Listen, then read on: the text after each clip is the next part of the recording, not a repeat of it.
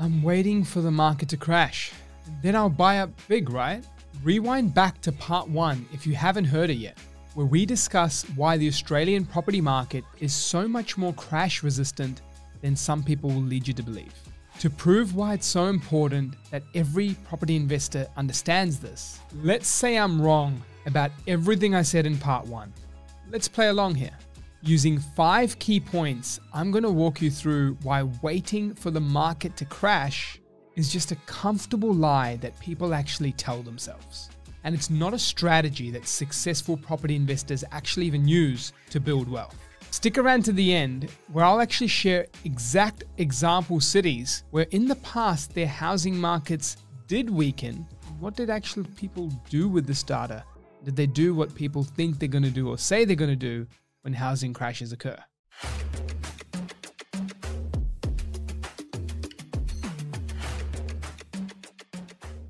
Firstly, I want to take a step back of this theory of waiting for a crash to happen. Like I said, we're going to assume that I was wrong in part one, and we're going to play along with this idea that no, the crash is happening. When people are thinking of the crash happening, let's look at their ideal state. The ideal state they're hoping for is that their life is perfectly intact. Everything that they do in work, health, mindset, financial capacity, and capability is all good to go, except house prices just so much cheaper. It's them on an island and they're ready to purchase. Just them. No one else matters, just them. And they make a purchase and they purchase something with high confidence and feel like everything's perfect now. And they just sit back with popcorn, waiting for prices to rise. Well beyond what they purchased, well beyond the previous highs for them to go, ah, I nailed it, right? That's what the perfect outcome people are seeking when they say this. Now let's actually talk through those assumptions where I said, no, I'm wrong here. Um, those things are not going to happen from part one. A crash is coming, and let's just see if this is actually a good idea to wait for this. The first part to understand is the makeup of the job market that's impacted if Australian property markets crash. And I've got some data to share here with you that you'll find of interest. The first thing here is that approximately $150 billion per annum is the aggregate residential property industry's direct contribution to the Australian economy.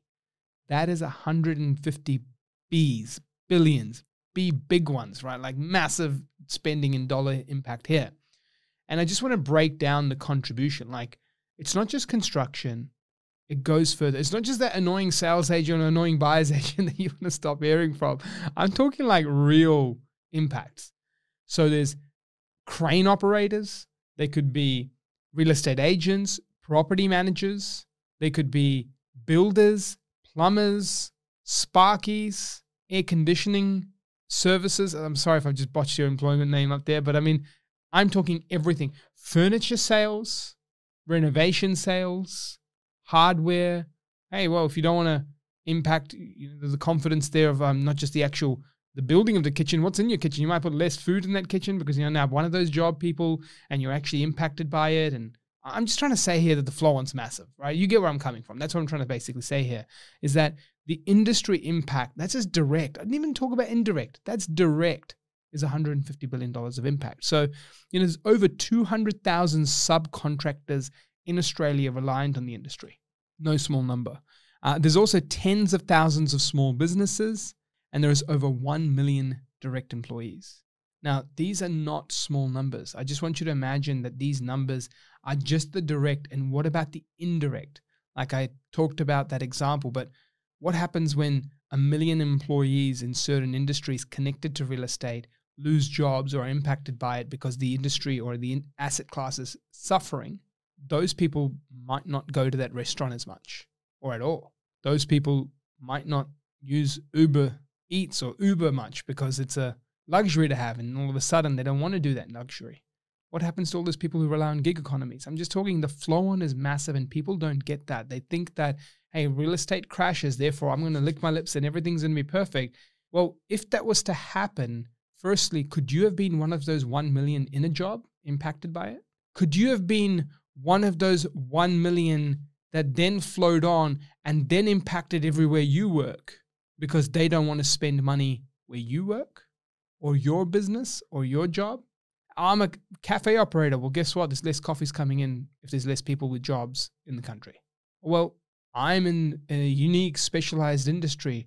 Well, trust me, there is probably some flow and impact from real estate that comes through all the way your way. And if it doesn't, just the thought of impact that someone else is having in the industry economy leads on to what we call sentiment. For example, a business owner who's not in an impacted industry here's data of Australia as a whole impacted. Do you think that that business owner is then going to go, well, I can't wait to go and take out more loans, grow my team, grow my employees, attract more talent, and grow the company? Uh, you'd be surprised if everyone thinks like that. They would go, well, everything's bad. People aren't spending much. Spending trends are going down. And they may make decisions even before it impacts their industry to then cull down or structure and, and look at it that way. So it just shows you that the impact first from the employment perspective is huge. And there's even more charts that go through certain percentages. So, for example, if we're looking at unemployment or employment, sorry, in construction and property industries as a percentage of Australia's total employment, construction services was 6.1%, heavy and civil engineering 1.2%, building construction 2.7%, property operators and real estate services 1.5.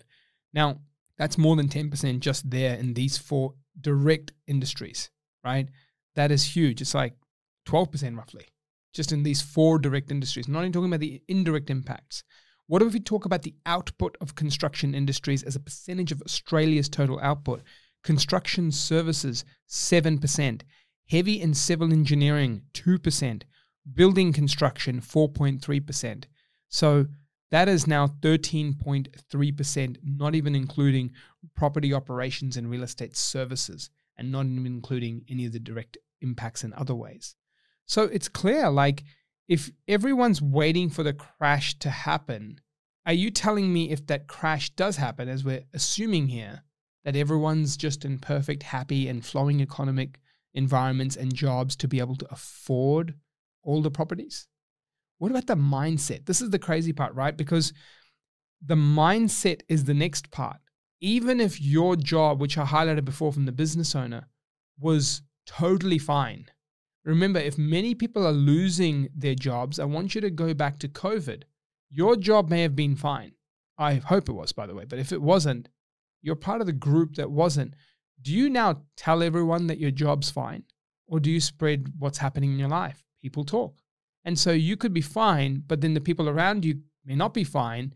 And the stories that you hear are a high proportion bad news stories than good. What does that make you do from a mindset perspective? Are you telling me you're immune and you're just a perfect decision maker with a clean mind, a clear mind who's just, you know, driven to make investment driven decisions all the time? The majority of people don't. You will hear the news around you, you'll see the news on the TV, you'll see jobs falling off, you'll see industries impacted, flow on impacts, weak sales data because of the input construction jobs and real estate jobs, property industries, and supporting industries is massive in the country. And so that will then flow on to your mindset, and you will be paralyzed because the many people in COVID, when that happened, do you think everyone perfectly timed it well and bought a house? The transactions fell to lows before they went to highs. So, in the times of the lows, there was an element of physical capabilities, which was difficult. But remember, all the solutions to those physical capabilities started coming up very quickly. Virtual inspections, transactions, lockdowns weren't the whole year. There were a couple of weeks and they went back again. So it actually means that people were able to transact. But did you? How many did? How many more people decided I should have transacted? Well, guess what? Vendor discounting during that period of COVID. So the people actually going, I'm ready to let go of properties pretty cheap only was very low for about three months. So get that. The biggest lockdown, pandemic things that we've seen in recent times, in recent human history, that shut all of us out, lasted for three months of weak vendor discounting before trends started changing again. Would you have been resilient, capable, and comfortable to make the decision in those three month windows to score yourself a bargain? I don't think many would because the data says many people weren't. So that's a core thing there. Now let's take a next part and look at this next note I have around credit because job impacts is one thing that impacts your income earning ability, but the global or national markets as a result of even property being impacted, how many of you will then have credit that's easily available? Because guess what? If a property crash is happening, do you think the banks are going to sit there and go, hey, there's a crash happening. We're just happy to give out money to everyone easily, like no tomorrow. Let's just give it all out. Because you know what? We know those assets that you're buying are priced perfectly. We know where they're going to be. They're not declining, right? I mean, they're going to be pri- no, they're declining. So if the crash is happening, they're all declining. Every time the bank gives out a loan, by the time from when it's actually given you the commitment of pre-approval up until settlement and the valuations occurring, if there's a risk for the bank to actually be below LVR, they might bring their loan to value ratios to 90 to 80, or they might even say, we don't want to lend in this postcode. We see too much risk here. Now, what if that postcode's everywhere? Then what?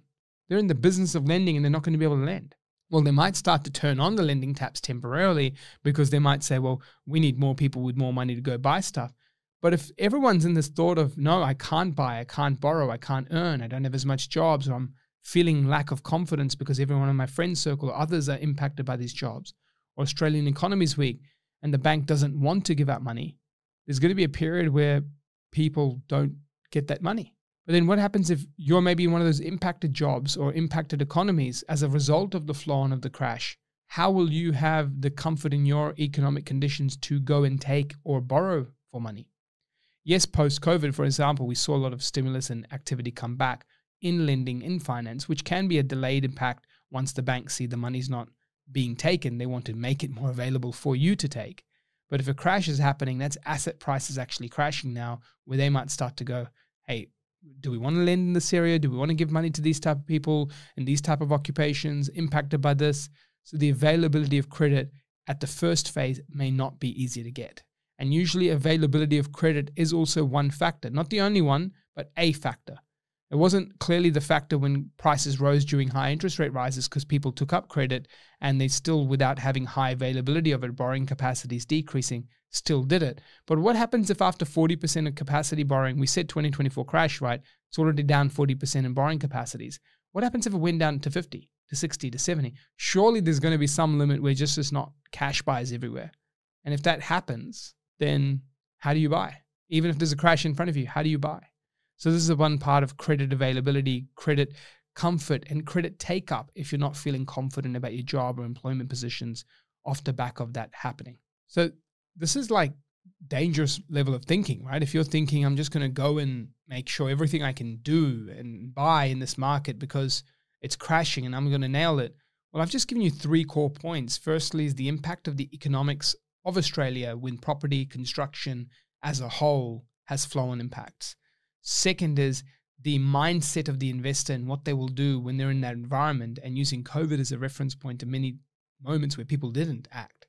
And then the third part is actually credit availability and take up your confidence from what employment you have and or will have and the ability for you to decide to take it up or the banks and the postcodes whether they give money or not. So it's really important here to realize that it's not just as simple as executing on it because there's a crash happening. But let's go a couple steps further. If that crash is what you're waiting for, and if it's about to happen, do you think you're the only one waiting? Is it just you sitting there going, I'm here by myself, I'm the only one waiting for this crash? I think there's going to be others like that group think mentality who are going to sit there waiting for it. This is the part that will really make you go, Well, I didn't think of this. Imagine prices go down from $1 million to 950 to 900K to 850 to 800. We'll keep going. 750, 700, 30% off. Was everyone equally going to wait for 30%? Did everyone as a group talk to each other and go, G'day, mate. Um, just want to chat to you. What are you guys waiting for when we when should we buy? Are you guys waiting for 30%, 25, 20? Oh, you're doing 30? Yeah, cool. Me too. Um, the whole street said 32. We should all just wait for 30, right? That'd be the perfect time. We'll all just well, no, they're not gonna all wait for 30% to happen.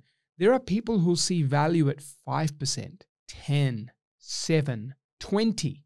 What happens if people who found value at 5 and 10% was a higher makeup than people who were sitting waiting for 20 and 30? That bell curve or that you know curve that's starting to emerge, the hockey stick, starts to come back. Just when it declined to five, you're getting your popcorn out. You're going, honey, we're gonna we're gonna go to twenty percent. It's gonna come. It's happening. Let's do it. It's around the corner. And everyone thought value was five percent. Went down five percent. This looks like a great time to buy. I'm getting back in. You can't control the breakdown of bandwidths that every person around you, owner, occupier, renter, investor, thinks that there is value in a market. Your value points are different. Therefore, at every percentage point from zero to 30% in decline, there could be inputs of sales volumes that are coming back up. That means at 5%, there could be a new volume of sales coming in because people saw value there. At 10, and one of two things happen. You might see the blip and you might jump in. So you're now Mr. 20% or Mrs. 20% decline, and you saw the blip at five. And you're like, I better not miss out. I better jump in. I better jump in. Now you've just aided the five percenters to come back up again. Or you might go, no, it's coming. And then every six or seven or eight, you're like doubting yourself again and you might bring it up from 20 to 10. So, how do you know that? How do you control that? And if everyone else is looking to come in because of the crash, at the time of coming in, let's just say it's all perfect. 20% down, you all waited, which by the way is impossible. Everyone agreed together that we're going to wait for 20% dump, jumps, uh, 20% dumps in value. You all jump back in, and all of a sudden you're saying you're not going to have any competition when you're all buying at the same time. No, John, you go first, please. It's um, my, my pleasure. You take that first home, it's yours. Uh, I'll have the next one. Don't worry. Um, hey, he doesn't know we're going to get it 21% decline, not 20. We'll let him go first. Hey, uh, come on. Like, I was just like, this is just getting silly, right? I'm sorry if I know this is a really important topic for people who are like, I've been waiting for the crash and I wish, but I want you to please laugh with me here. Get a bit of like, hear this out and just be like, okay, I'm never going to think like this again because it just cannot happen perfectly in this perfect world that I'd imagine because you're going to wait here for everyone think there's no competition on the way in. That's not how it works. Now, let's move on to the next part. If someone is selling 20% cheaper, there's a crash happening. Firstly, it means that there are conditions in play where they have to sell. So let's go through this. You have to sell property. Where do you go live? Just have a think for a minute. That means you're banking on lots of rental housing to be available, no people coming into this country, lots of houses that have recently been constructed and available for a position, and lots of choice in cheaper markets to also be available. And this is when many people get it wrong. If you think everything's going to be available and you're going to be able to sell off your problem because times are tough and the market's crashing and then you're just going to grab something else, that is not how it always works. Because someone at the bottom of the chain who might be looking to also have their stock available where do they go? Like, does a 500K property person go to 300, 400, 300, 200, 100? At some point, there's like no houses available in a price point in a respective city. So there's a bottom point reached. Now, if no one at the bottom point reaches the point that they need to sell, and then they start going to somewhere else to live, like you start having some like massive exoduses. You have to have like crazy scenarios. You have to have scenarios like people have to go to another country. You have to have scenarios that people just pack up and leave there. Like there's to be like doomsday stuff here right, of every possible scenario that everyone just leaves everything. That's pretty bad. Now, we've got bigger problems than just, you know, uh, what investment and where do I buy and buy at the bottom if that's happening. Because at, at some point, all these brackets keep falling up. Someone's got to leave. Housing is shelter, right? And you think that there's like a type of shelter and therefore all these houses should stay available? Well, no. The 35% of houses that might be renter properties, there's still shelter for people renting. And then the 65% of owner occupier properties, that still shelter for people where they're living as a home that they own or are trying to own. So, like, there's still shelter to all types of people. So, that's one element. You can't treat this as some trading stock where you're perfectly valuing a company. You've got to remember there's an element of human psychology, human impact, human, you know, decision making that is there in real estate that's not quite there in other assets hey, look, prices are down 20%, let's just go live in the streets. Like people don't sit there actively agreeing to this. They don't do that. Like if prices are down 10, 20%, maybe now it's not a good time to sell. Oh, but I have to sell. Is there something else that we can buy that's way cheaper so it fuels and takes the pressure off our family? So you have that domino effect that's constant switching. People aren't just going, I'm just going to live in the streets. Now, has there been scenarios where that happens? That can happen, but people are going to try and avoid that.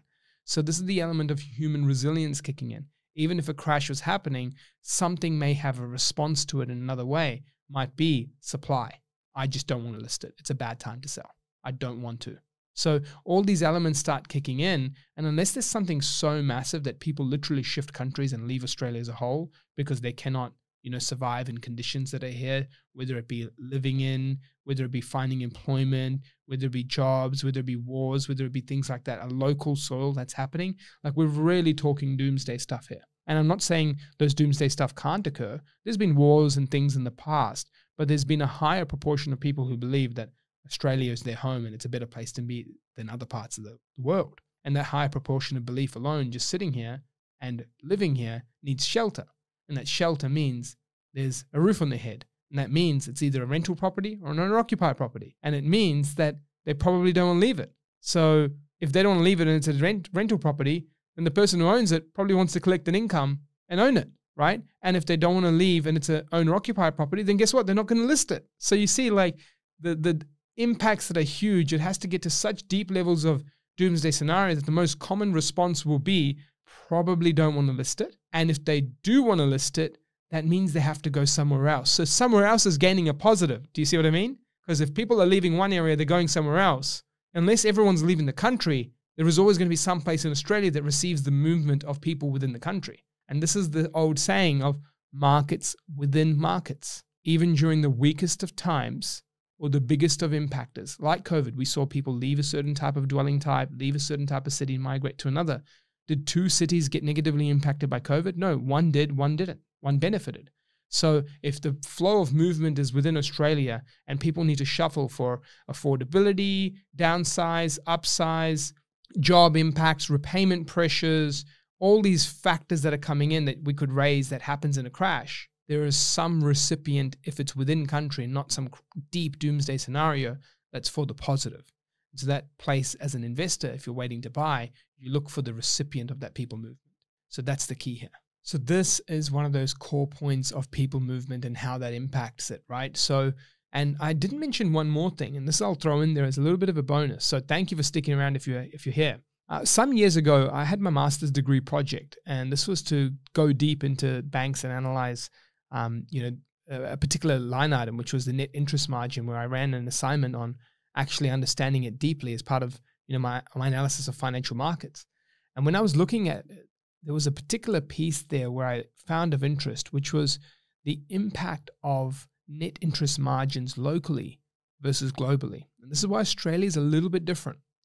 The first thing here is that with Australian net interest margins, uh, at the time of making that assignment, these numbers may have changed, CBA's net interest margins, which is the earnings from lending essentially, was about 74% at the time of doing that assignment. So 74%. Now, it could have been 72, so I could get my numbers slightly wrong here, but it's in the 70s. Then you go back to overseas, where obviously when property crashes happen, the prominent impacts of it have been pretty great.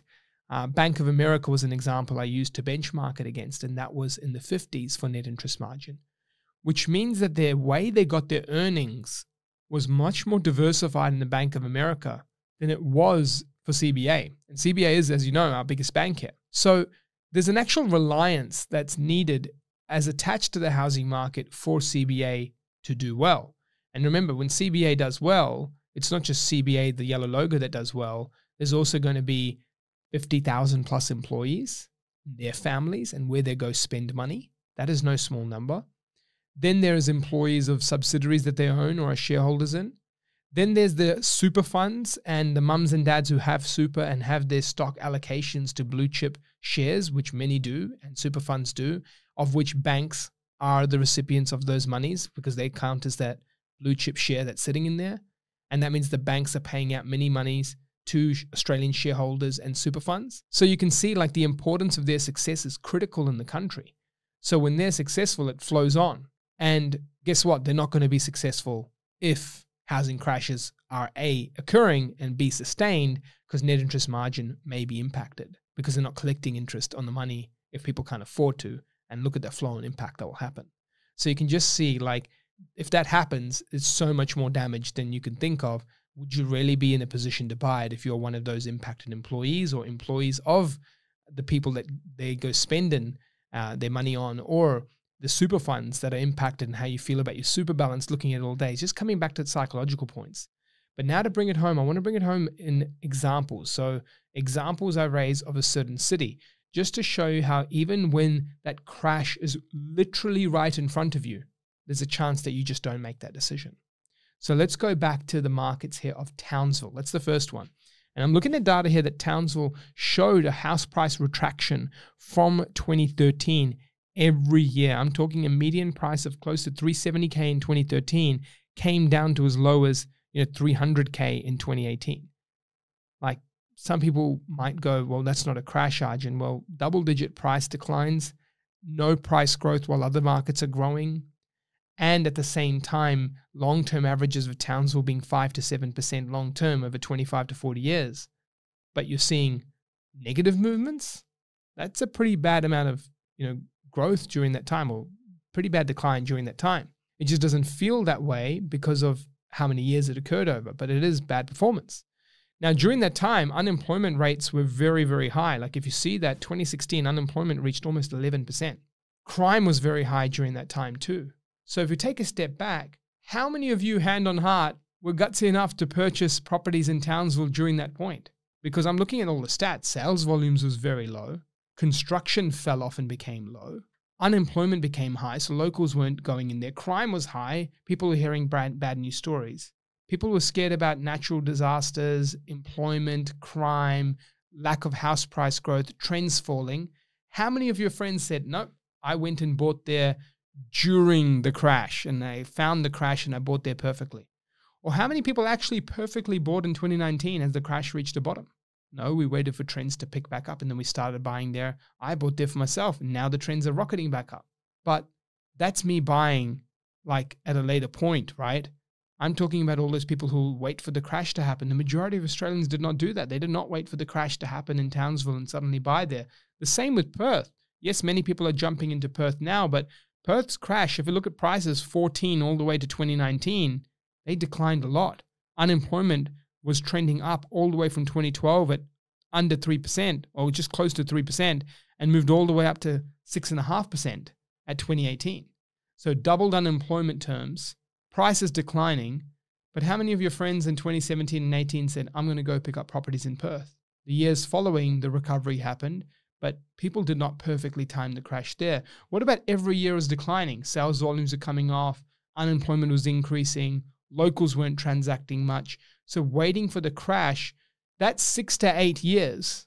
You could have been investing elsewhere, right? Because that's what happens when one city goes down, things go elsewhere. Rather than licking your lips and trying to perfectly time the Perth market or Townsville market, you could have made money elsewhere during that five, six, seven, eight year period. During that same time, you could have invested in Sydney or Melbourne in the early 2012s, Hobart, Devonport, Burnie, Tasmania, all around Tassie in 2016 17 regional Victoria across 17, 18 could have gone to then these markets as the recovery now starts coming. So the main thing is, in summary, waiting for the crash is not a good idea. You likely may not be in a position to buy, borrow, whether it be mindset, employment, financial capability, and combine it with the likelihood based on you to perfectly nail a 10 becoming 15 or 20% when the hockey stick emerges and people may buy at different value points and to finally show proof that the whole country was not buying Perth properties as it declined or Townsville properties as it declined.